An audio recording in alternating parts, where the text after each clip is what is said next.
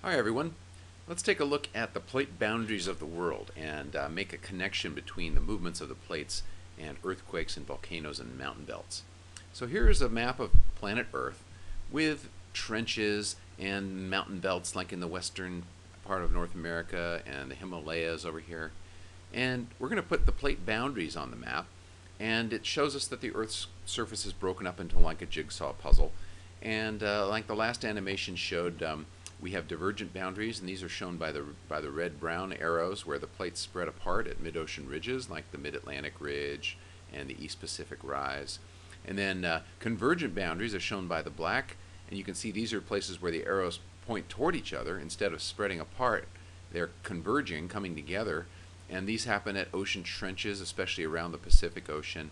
And it happens where oceans close and continents collide, like where India is colliding with Asia to make the Himalayas, and where Africa and Saudi Arabia are colliding with southern Europe to make the Alpine belt uh, through uh, southern Europe here. And then uh, yellow, the yellow lines show us the transform boundaries, some of the major transform boundaries where the plates are sliding side by side past one another.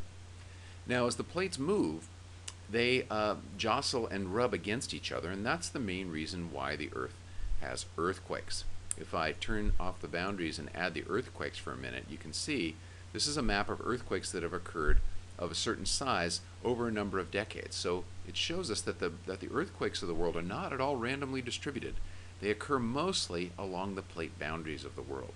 Most earthquakes occur where plates rub against each other at their shared edges. Now, volcanoes are also related to plate boundaries. Most of the Earth's active volcanoes occur along the edges of plates, particularly in places of subduction, where, where convergent boundaries, where an ocean plate pl plunges underneath another plate. For example, here the Nazca plate is plunging under the South American plate, making the Andes Mountains, which are full of active volcanoes.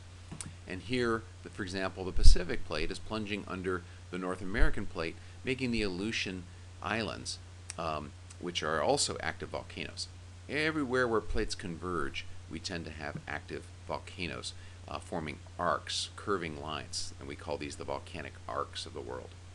Another major process that the movements of plates does is it creates mountains. As plates uh, push into each other, it shoves up mountains. And so most of the active mountains of the world, like the Andes, the Alpine Belt, the Himalayas, uh, the active mountains in North America, these are all created by the movements of the Earth's plates.